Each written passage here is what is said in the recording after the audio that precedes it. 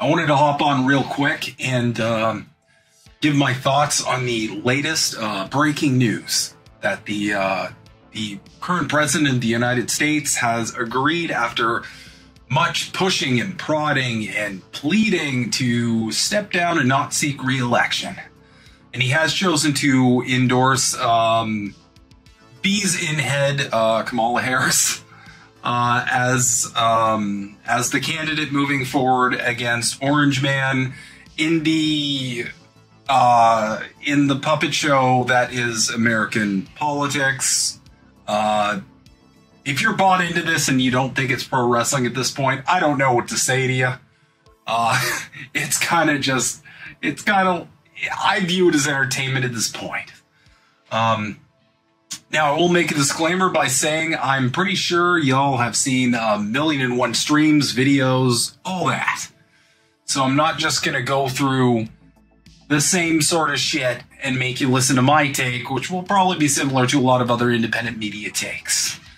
So what I thought would be a little more useful and a little more helpful is uh, is giving my uh, my psychology take on this breaking news and some of the, the decisions surrounding the news and kind of break that down just so you kind of understand some things.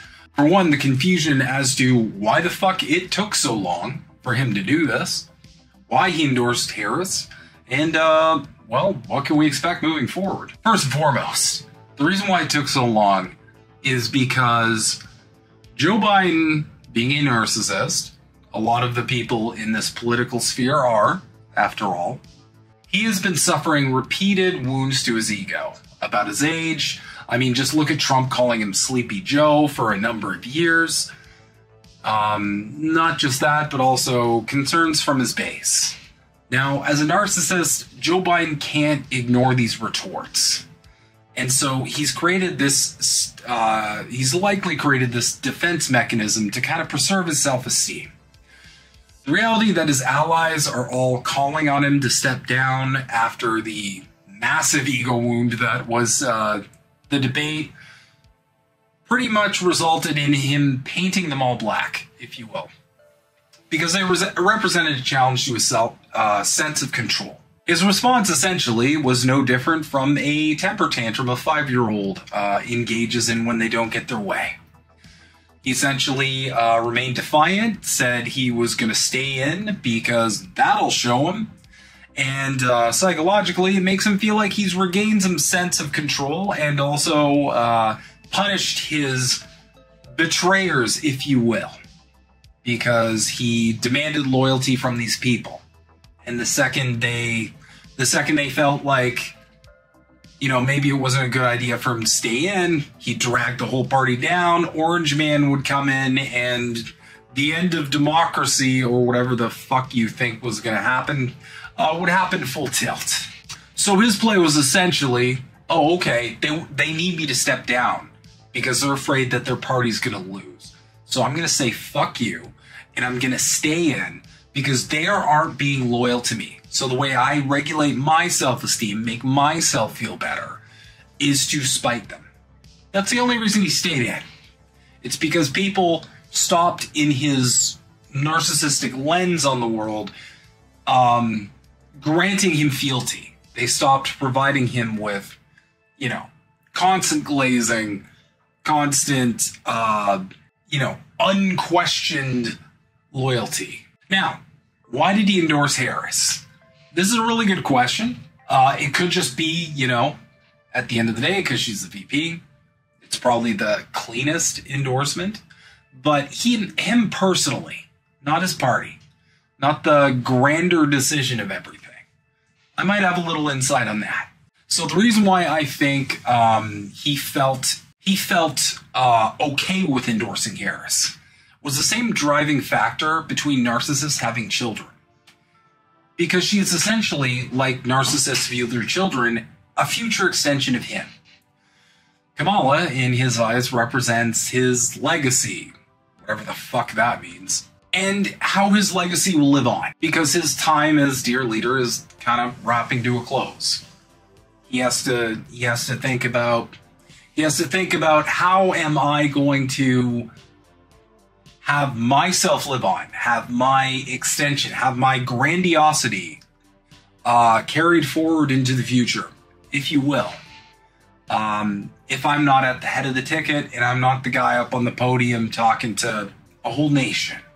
Kamala also didn't appear to be like anyone on a shit list, at least not if uh, from what I've seen. If I'm mistaken, please leave a comment below. Let me know I'm wrong, and I will uh, I will correct that post haste.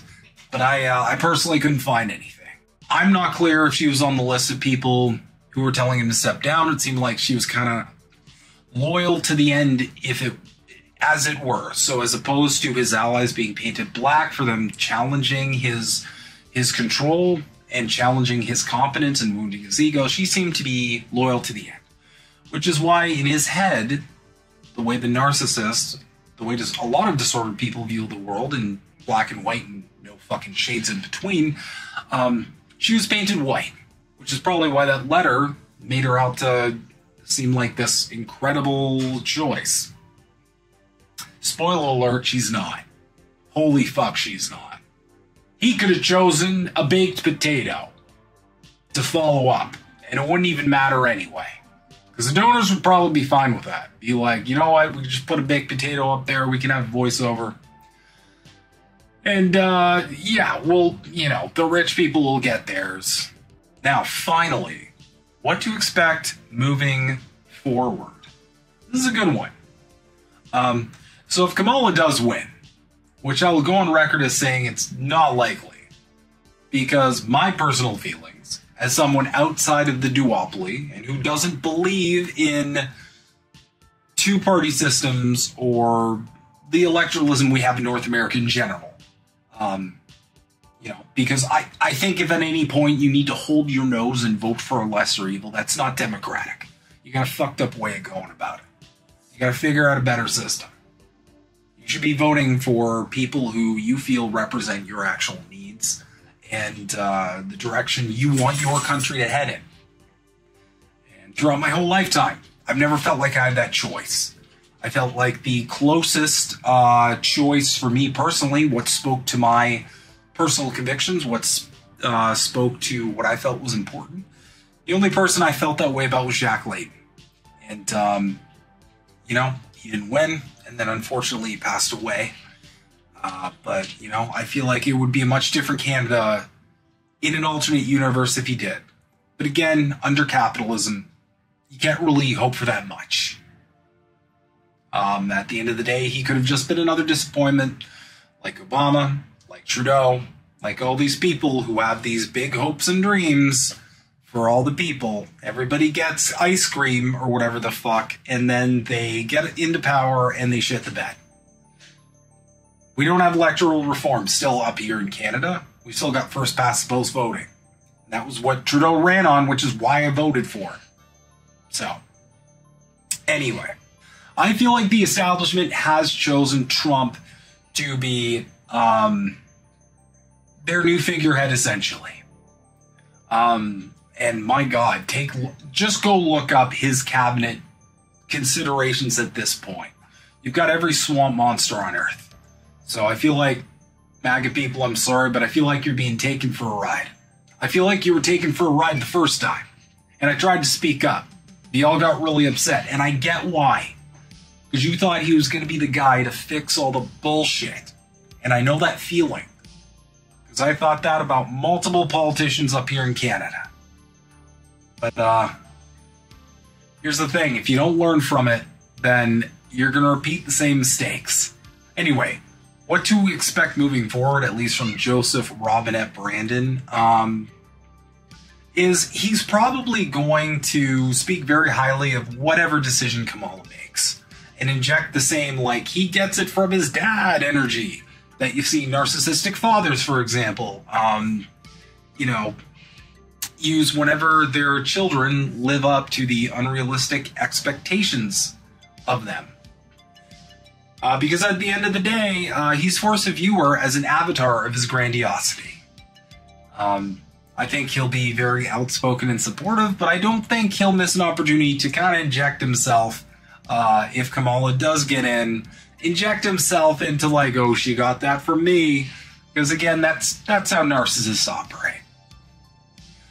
Anyway, a little bit short and sweet, but I kind of just wanted to do a bit of a psych bend here to kind of break down uh, some of the things that you know might some of the aspects of this whole uh, momentous event that might not be covered and might be useful.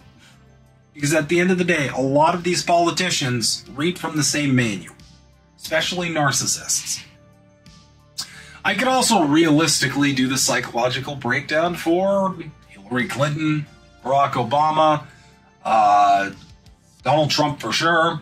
He's, in my opinion, the closest personality wise, uh, psychology wise, to Joe Biden. They're very similar people. That's actually why they don't get along because you can't have two narcs in a room. Okay? They'll start they'll start feeding off each other. Anyway, thanks for listening to this and uh yeah, let's uh my god. There is no week in history where Lenin was more right that, you know, sometimes decades do happen in a week cuz this is a fucking week. Um anyway, as always, uh check out Indie News Network. Check out Politically Homeless. We'll probably have more updates by Thursday, right? Um, and yeah, let's see. Let's see what other uh, what other Act Three of this play has to offer. Have a good one, everybody.